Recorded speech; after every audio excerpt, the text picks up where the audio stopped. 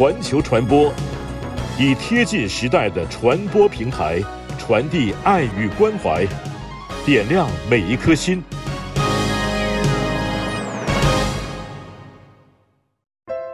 他是谁？他是君王。他来做什么？他来教导、传福音、医治病人，将来更要坐在荣耀的宝座上审判世人。他是耶稣基督。马太福音，让我们一起来认识他，等候他，与他同行。亲爱的弟兄姐妹，亲爱的慕道朋友，大家好，我是施伟。今天我和大家一起来开始分享马太福音的二十章。马太福音的二十章一开始就讲了一个葡萄园的比喻，是从二十章的第一节一直到第十六节。我们先来读一下这个经文。这一段经文就像一个故事一样，应该算是叙事，它是一个寓言故事。当我们读这段经文的时候，弟兄姊妹都可以想一下当时的情形，这样就有利于我们进入这个经文所给我们的这样一个场景，来明白神要对我们说什么。马太福音二十章第一节开始。因为天国好像家主清早去雇人进他的葡萄园做工，和工人讲定一天一钱银子，就打发他们进葡萄园去。约在四出出去，看见世上还有闲站的人，就对他们说：“你们也进葡萄园去，所当给的，我必给你们。”他们也进去了。约在五镇和深出。又出去，也是这样行。越在有出出去，看见还有人站在那里，就问他们说：“你们为什么整天在这里闲站呢？”他们说：“因为没有人雇我们。”他说：“你们也进葡萄园去。”到了晚上，园主对管事的说：“叫工人都来，给他们工钱。从后来的起。”到先来的为止，约在有出雇的人来了，个人得一钱银子；及至那先雇的来了，他们以为必要多得，谁知也是各得一钱。他们得了，就埋怨家主说：“我们整天劳苦受热，那后来的只做了一小时，你竟叫他们和我们一样吗？”家主回答其中的一人说：“朋友，我不亏负你，你与我讲定的不是一钱银子吗？拿你的走吧，我给那后来的和给你的一样，这是我愿意的。我的东西难道不可随我的意思用吗？因为我做好人，你就红了眼吗？这样，那后的将要在前，在前的将要在后了。”好，我们今天来看这个比喻的时候，我相信刚才读的时候，大家就已经有一个很深的感触，和我一样，就是觉得这些先进葡萄园的工人，如果我们是他们，也会觉得不公平。那我们来看看它是什么意思啊？上一次我们讲到第十九章的最后，其实是在讲从主而来的赏赐。在天国的赏赐，这次呢，其实跟上次是连在一起的。上次讲到，我们如果是为主舍下所有，特别是彼得对他说：“看了，我们已经撇下所有的跟从你，将来我们要得什么呢？”那耶稣就对他们说：“跟从我的人，到复兴的时候，其实是坐在十二宝座，其实是和我一起。”然后二十九节，十九章的二十九节说：“凡为我的名撇下房屋，或是弟兄姐妹、父亲母亲、儿女、田地的，必要得百倍。”等等。他这样讲的时候，你看彼得说了：“我为你已经撇下所有。”但他这样说的时候，是不是我们今生凡是为主撇下了房屋，神就会回报我们一百间房子呢？或者 double 呢？是不是我们？捐献给神的钱，神也会 double 的给我们呢。其实不是这个意思。因为谁也不会要得百倍的父母、百倍的儿女，对吧？上次我们讲过这个，那这次就看得更清楚了。上次的意思是说，你所得的，就是在天上与主一同掌权，在宝座之上审判万有。那这个本身的荣耀，就是百倍于你在地上的这些房屋、父母什么。那今天呢，要讲的是你在主里面的劳苦，你所得的是什么？你的劳苦是什么？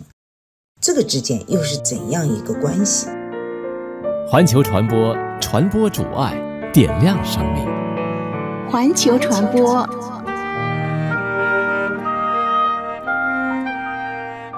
这个故事里面讲到清早去雇人，那在当地呢，清早一般是指六点钟，早晨六点去雇人。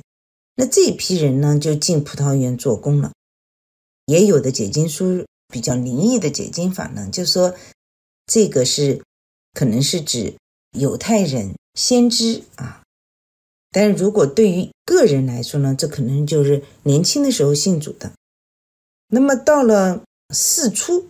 就是大概三个小时后呢，就是九点钟，原主啊，也就是说我们的神呢，他到街上看还有人闲站着，就是还没有地方去。那这个“闲站”这个词，我们要怎么理解？并不是说很舒服的站着。既然他们站着，站在街上，就是要等人雇他们，也就是说在找工作的人。这个“闲”字和我们平常讲的游手好闲啊。很舒适的闲着啊，因为我们现在都喜欢闲着，所以我们才会嫉妒。但你想想，如果他是找工作，他找不到工作，一直站，从早晨六点站到九点还没有工作，他里面的心是何等的焦急，那你就能够理解。当还没有认识主的人，虽然我们认识主的人，可能在主里，我们觉得我们挺劳苦的，做这做那，但我们是在父的家里。那不认识主的呢？不认识神的人，在神家之外呢？他们那种灵魂的漂泊、无依，那种痛苦，我们如果不以为然的话，那我们信主就感受不到主的甘甜。所以这个地方在世上闲站的人，这个“闲”字不是从字面上看他们很舒服，而是要看到他们的痛苦。于是主就对他们说：“你们也进葡萄园去，所当给的呢，我必给你们。”所以他们也进去了。在一些灵异的解经书上说呢，这个也可以。如果从整个人类来说，旧恩历史来说，这个也可以说好像是新约的。我觉得在这对于我们个人来读圣经的时候，更可以看作我们自己来看。有的人可能信主晚些，那约在。午正就是中午十二点，和申初就下午三点，这个时候等于这一天已经过了一半了。原主呢又出去，还是看到世上有没有工作的人，所以就怜悯他们，又让他们进葡萄园来工作。那到第六节呢，是到了酉初，酉初大概是什么时间呢？是下午五点钟，也就是说下午六点工作就结束了，但下午五点呢？他又看到有人站在那里，他不是简单让他们进来，而是问他们：“你们为什么整天在这里闲站呢？”也就是说，这里就表明了这些人不是一觉睡到下午，现在才出来，而是他们一直站在那里，一直在找工作。世界上，或者说这个世上，一直在寻找真理，寻找家园，寻找一个灵魂的皈依而得不着的人。于是这些人就说：“因为没有人雇我，这个雇不仅是雇我们工作，也是让我们有一份安定。”于是家主就这个葡萄园主人啊，或者说我们的神呢，就对他们说：“你们也进葡萄园去。”那么一个小时后，就到了晚上，工作一结束，就当天的工作当天结掉，就要给他们结账。他呢是先从后来的人结起。因为其实后来的人心里最忐忑，哎，觉得呀，我就进来这么一会儿，他会给我那么多钱吗？会给我可以这一天生活的钱吗？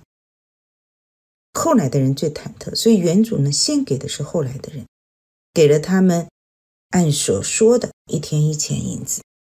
那这些人对这个原主，就对神肯定是充满了感恩，因为自己所得的是自己不配得的，你自己只工作了一个小时，或者呃，如果像生出就下午三点，那也只工作了三个小时，或者只工作了半天，所以他们是非常的感恩。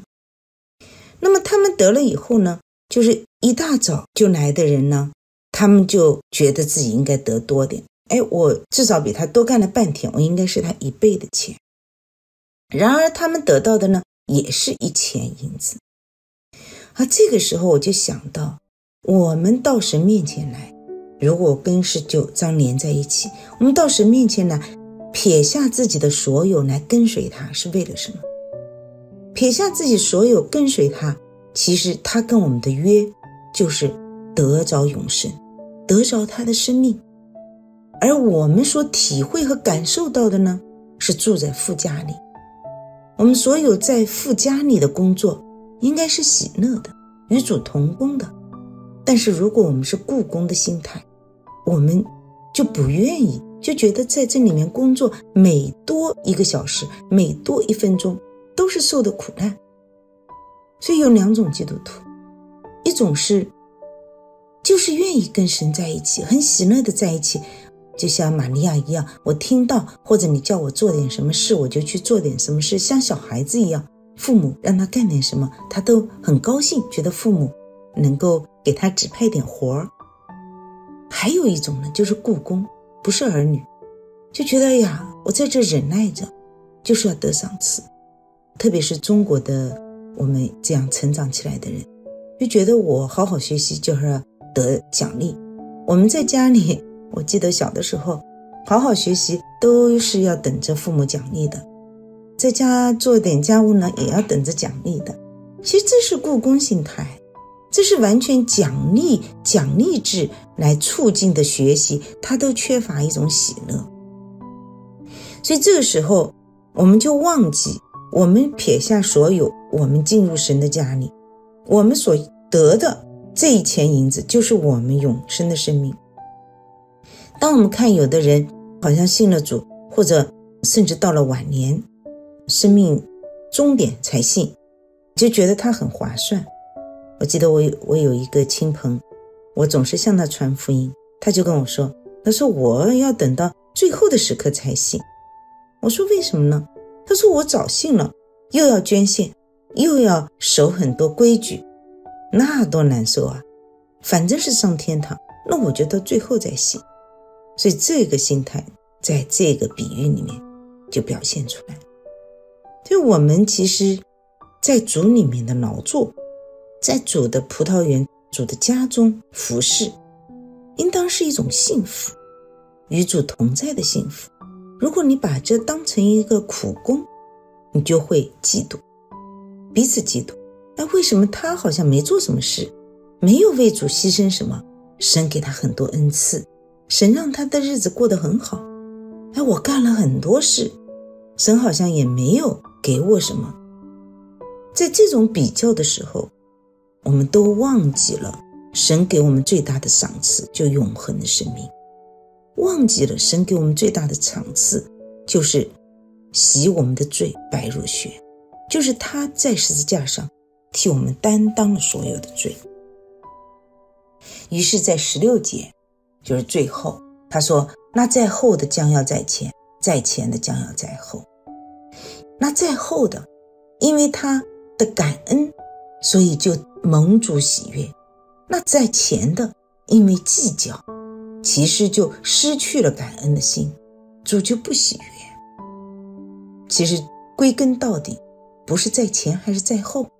如果仅仅是在前在后，那我们都晚点信更好。其实不是这个意思。”无论在前还是在后，我们跟神之间都是个人与神之间的关系，而不要互相比较。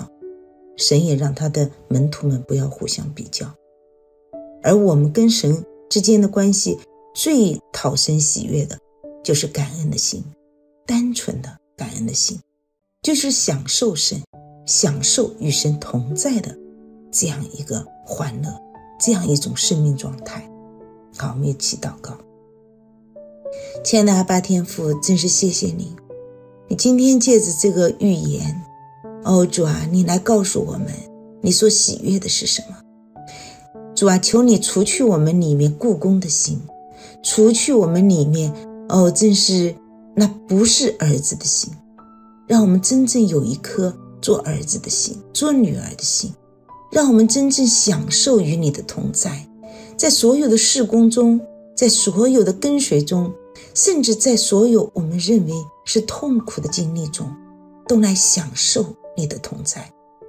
只有享受你。才能真正的感恩于你，主，只有感恩才是我们所向你献上的清香的祭。主，谢谢主，奉主耶稣基督的名祷告，阿门。本节目由环球传播制作，我们的网址是汉语拼音环球传播点 o r g，盼望您将节目转发出去，祝福更多家人朋友。